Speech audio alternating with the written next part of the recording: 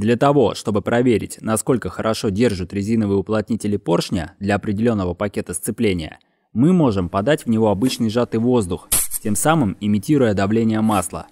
В простонародье это называется вакуум-тест, без всяких сложных инструментов.